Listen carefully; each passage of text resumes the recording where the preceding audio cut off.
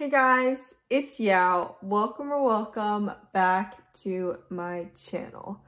So in this video, I'm going to be organizing, well not organize, well yeah, I'm going to be cleaning out my, not cleaning out, I'm going to be emptying the stuff in this cart and filling it up with books instead. So right now it has like a bunch of like stationery and like art supplies type of stuff. So I'm going to empty that out. And then after that, I'm gonna be choosing my TBR for April randomly. So yeah, without further ado, let's just get straight into the video. I think I finally got the intro this time. I tried to refilm it so many times, so yeah. So I'm gonna empty this out now, and I'm also gonna be watching Avatar, and the, the animated version on my laptop. Believe it or not, I actually haven't watched the entire thing before. Um, but I'm on season three, which is the last season. So I'm going to be really sad once it's done because it's like such a good show. And literally, I don't think anything else on Netflix can top it after this. Because, yeah, everything else is just not as good in quality.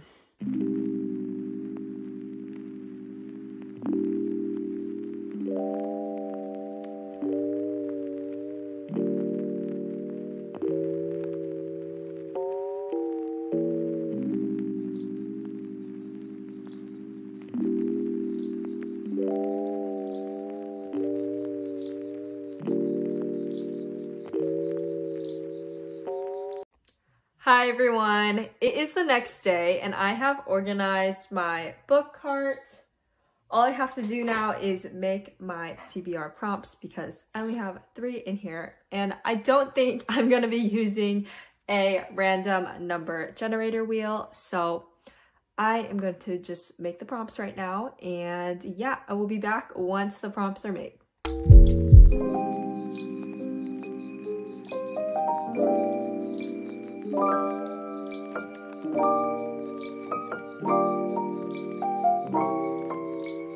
Okay guys, I am back now and I've made all the prompts and I've put them into the jar and I've also put on a sweater um, because I was cold and I've changed the angle so you can somewhat see the cart, not really anything from the second row to the bottom, but I think the angle is a little bit better than before because you can actually see the cart, which will be necessary when I am choosing the prompts and choosing something from the cart. So yeah, I'm just gonna choose the prompts now. Okay, so let's choose the first one. Oh my god, there's hair stuck to my lips because I put on some chapstick.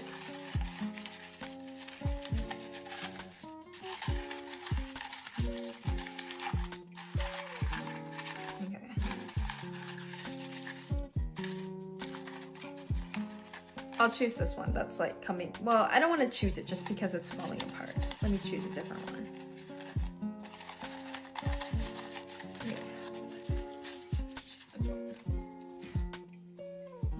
Okay, let's see what it is. Here, you guys look first. Makes you smile. Aw, I love that. What a nice start. Okay, so let's see from the books that I've got. I'm gonna have to change the angle because you cannot see this angle. Oh. okay, I'll be right back. Okay, you guys, you're welcome. I moved to the floor for you so that you could see it better. Um, but, okay, this angle is not much better, but I think it's fine because you can see both rows um, more than before. So, book that makes you smile well, how can I know if it makes me smile if I haven't read it yet? okay, so the obvious choice would be this one, The Soulmate Equation, because this is a romance and it'll probably be something just very feel-goody, make you smile. I could choose that.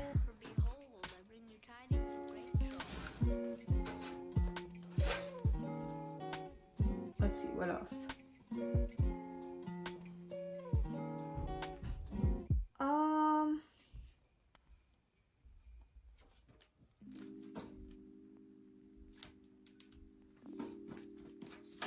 Maybe this one. It seems like a fun little mystery, so it's kind of making me smile in that way. I'm not really sure. Honestly, most of the books that I have are kind of dark um, or heavy or not really something that's like a feel-good type of book. So let's see.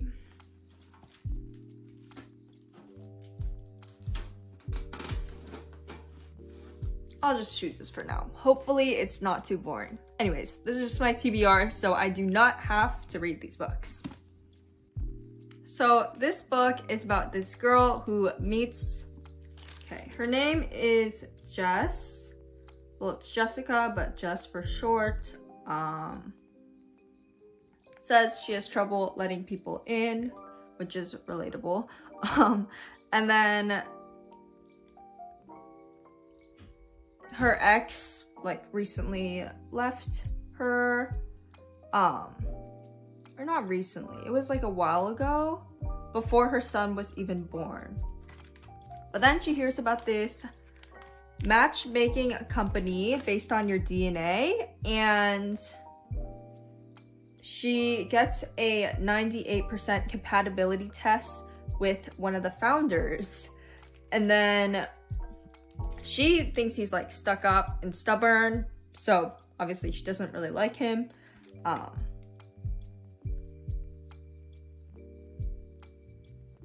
but they said that they'll pay her, so she takes the offer, and we all know what will happen. They will probably fall in love. Well, not probably, they will, um, because it's a romance book. Um, but yeah. And I just thought of another feel-good, um, feel-good book that would make me smile. I'm currently in the middle of it right now, Heartstopper Volume 3. So yeah, I could also read that for the month. But yeah, let's just move on to the next one. Okay guys, and apologies for the weird lighting. Every time like I shift, it just puts a shadow on my face. So I'm gonna be careful not to move too much around my face. Um, yeah, let me see if I can. Because without the lighting that I'm using right now, it'd just be like that. And that's kind of dark. So I think this is better. Okay, let's choose the next prompt. Or you watch me choose the next prompt. Whatever. okay. Ooh, did this fall out?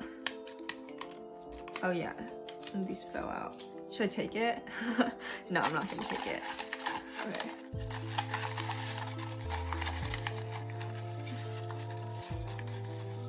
Take my time.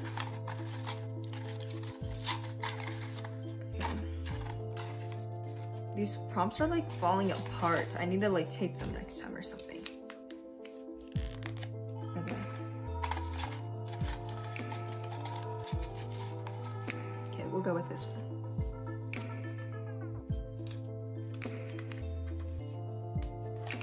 Romance. I already chose a romance though. Sure what to do about this. Um, okay, so I have normal people here, but I don't know if this is exactly a romance. It's like an unhealthy one, I think, just based on what I've heard. Okay, I don't know for sure. Um, I guess this one then. I also have this that I borrowed from the library. But I've heard more about this one, so out of those two, I'd probably go with this. Okay, so we're choosing this one, I guess. Okay, this is like a super popular book, so I think most people have heard of it and know somewhat what it's about, but I will give you a little summary just in case you haven't. Um, so it's about two people, Connell and Marianne, boy and a girl. Um, like they grew up in the same town, but then at in high school, Connell's like well liked, but Marianne is a loner. And then they have a conversation, and then it like says on the cover something electrifying happens and something life changing begins. Very dramatic. Uh, And then I believe, just from my memory, I believe that like they meet again in college, but then the roles are reversed. Now Marianne is the one that's well liked, and Connell is more like a loner, I guess. Um, yeah. And then it says on the back cover that this is a story of about friendship and love, and it talks. It's talking about two people who try to stay apart but can't of sounds unhealthy. um, yeah. okay, I mean, I might give this a try. I got this from my free little library. By the way, it wasn't even on my TBR, but this is a pretty popular author and I've seen this book around before, so yeah. Okay. Also, my knees are starting to hurt just from sitting here. Okay, I changed sitting positions so I'm a little bit more comfortable. These are the two books that I've picked so far and still have plenty left to choose. As many as I want. okay.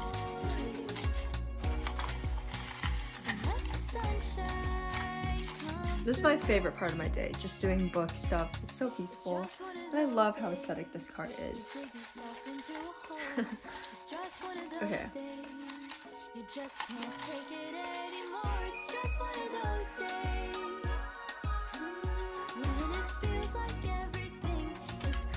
Non-white author. This prompt follows me around, I swear. Last time I got this one too. It's a good thing though. I want to diver diversify my reads. Okay.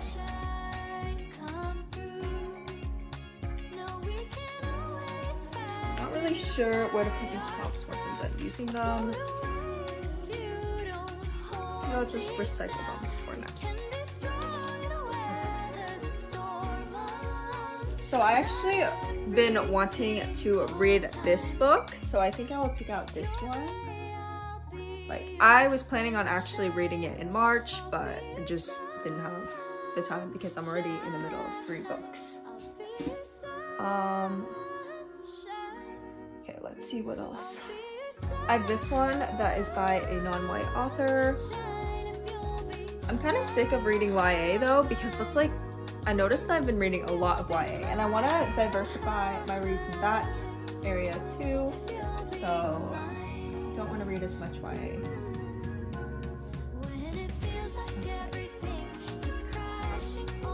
Could also read this one,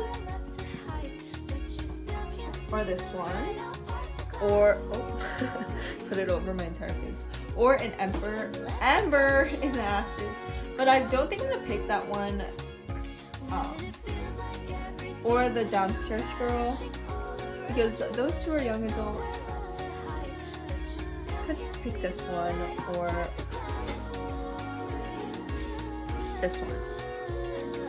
Thing is, this one is shorter and it's like 200 pages. Oh, I also could pick this one. I still haven't finished the historical fiction book. Um, if you've been watching my videos, you know what I'm talking about. I think I'm just maybe gonna return it because I don't really think it's my thing. But I heard it's very good and it's like very fast paced or like it's hard to put down. So I want to like give it a try to see if I can get into it. So that's why I haven't returned it to the library yet. Okay, let me put that back. Okay, so I think I'm gonna go with Crying in H Mart.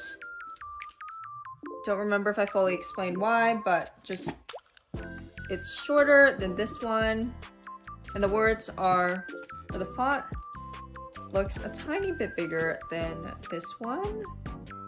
And also I want to read more nonfiction as well because I've only read two nonfiction books so far in 2024. So this book is probably gonna be painful to read um, because it's about um, this woman who, it's about like, she gets a call that her mother has cancer. And this is her like coming back home and like to be with her mother when she had the cancer and also her coming of age story and like like how she has been dealing with the grief after um and also her story of growing up Asian American and all that entails. Um, it's gonna be a little bit about her childhood as well. Okay, let's choose a, another prompt. Or I'm gonna choose another prompt. Um, okay. Mm. Let's pick this one set in location that I would want to visit. Okay, I don't really know about this one.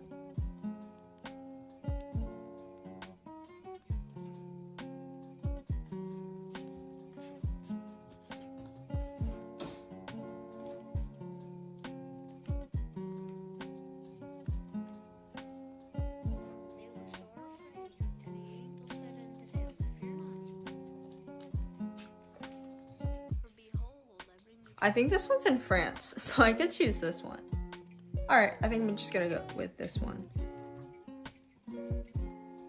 Okay, so this is about a bookseller that comes across a bag on a street, um, and they want to return the bag to the owner, and the bag doesn't have any like contact info on it, um, but it has a notebook with like thoughts and jottings. So, um he sees this and he wants to meet that person. Actually, I don't really want to read this because I saw in a review that like it involves stalking. Like he goes through. No, I'm not gonna read that. I'm not gonna read about stalking. I feel like stalking is normalized in romance books and it shouldn't be because that's just creepy. Um, let's see. Let's see. Where's this set in?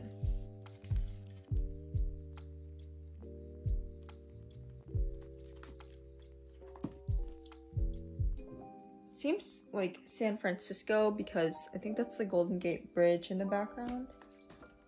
Um, let's see.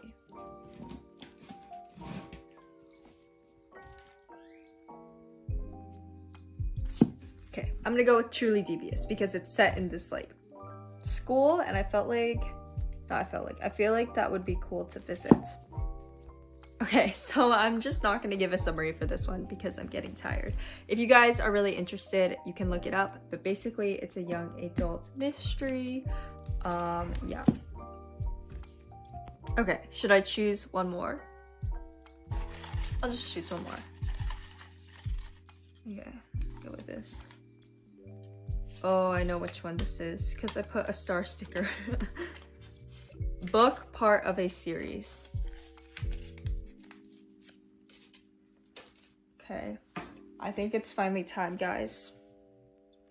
Okay. Yeah, I'm choosing this one. Again, like the previous book, if you want to know what it's about, just look it up um, because I'm getting too tired to explain. But it's the third book in the Hunger Games series. I feel like most people know about the Hunger Games.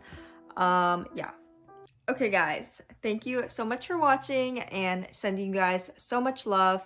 As always, again, thanks for supporting me and trusting me enough to support me. That means a lot to me. Um, yeah. Bye-bye. there was a little awkward pause there because um, my phone said less than 10%, so I had to click the little thingy. Okay, bye-bye for real this time.